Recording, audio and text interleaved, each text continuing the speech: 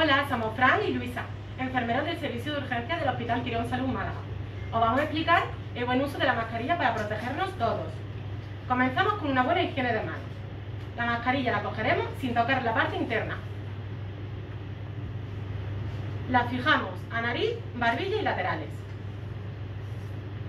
Las mascarillas recomendadas son las mascarillas quirúrgicas y también las mascarillas FPP2 y FPP3.